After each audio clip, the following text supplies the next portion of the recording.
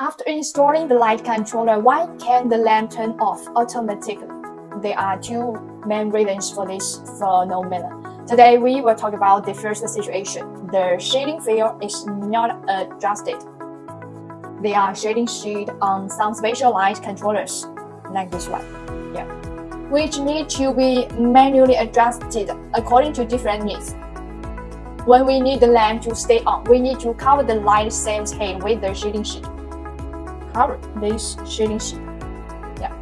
When the lamp is required to automatically switch on and off according to the ambient light, the shading sheet need to be removed. Like this, yeah. Have you learned it? Today's video ends here. If you like our video, please leave a message, like, and forward. I'm Sarah from Shanghai Longjoin. Thank you for watching. Bye bye.